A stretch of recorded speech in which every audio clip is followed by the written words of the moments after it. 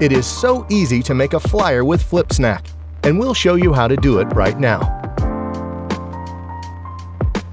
Start by selecting a predefined size or set a custom size. For this example, we'll choose the size A4. There's a variety of templates on FlipSnack, but we recommend choosing the flyer category when creating your own flyer. Choose the flyer design that you like with just one click. As you can see, this flyer I've selected has two designs, one for each side of the paper. Apply both by clicking on Use All Pages. We'll edit each side separately. It's time to customize everything on this flyer template, starting with the background color. Let's continue with the text. Replace the text with your own and change the font. Furthermore, you can also set a different text size and color. Surely you'll want to have your own image on the flyer. Add it with drag and drop.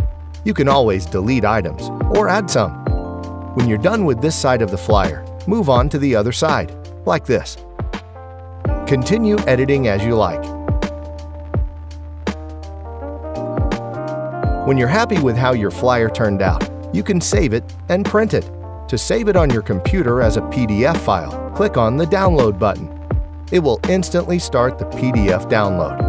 Alternatively, you can publish it online on FlipSnack and share the link with your friends or embed it on your site. That's all, folks.